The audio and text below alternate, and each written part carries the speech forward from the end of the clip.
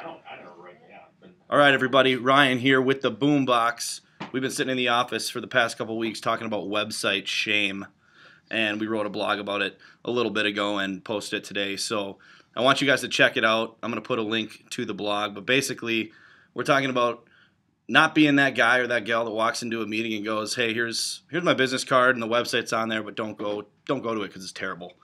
Pretty much, we hear it all the time, and so we wanted to show everybody how to make their websites basically conversion machines. I mean, you're teasing everything out there on social media and with all this marketing and display ads and all that. Well, you want to get people to your site, you want to close them. So, we're going to tell you how to do that, and we're going to tell you how to make your website look good and fresh on any type of device so that you're not ashamed to give people your business card and have them check out your website. So, hit the link, head to the blog. We'll see you later.